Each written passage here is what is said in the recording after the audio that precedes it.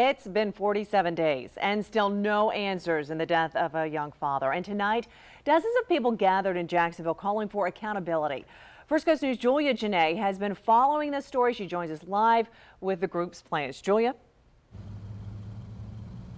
Jessica, their plan is to hold a rally on the streets of Jacksonville on April 21st. Their message included in this flyer that they were passing out, all stemming from the shooting death of 31 year old DJ Broadus in Macclenny. They also have concerns about the vague police report that is attached to this case that only says that a man was killed and that the man escorted away from the scene, a son of a retired deputy, was on scene at the time.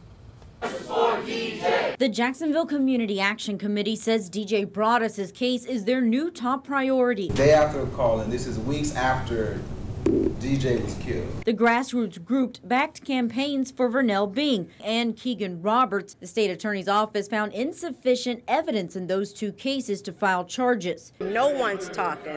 It's just it's just a wait process. A family friend, Anita Baker, is from the Macclenny area, where Broadus was found dead near a home on Southern States Nursery Road. Here uh, uh, on Super Bowl night that DJ was killed in Macclenny, it was just flabbergasting. I would have never in a million years thought for once, why was he out there? She, along with 50 others, first held town halls in Baker County last month. First one, they had about 135 people and a little over 100 at the second one.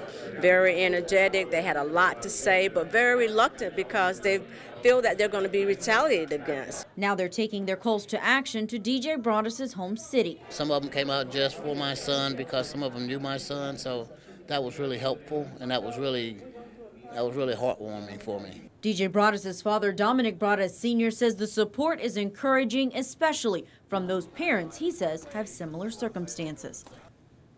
Justice for DJ and a lot of other DJs out there.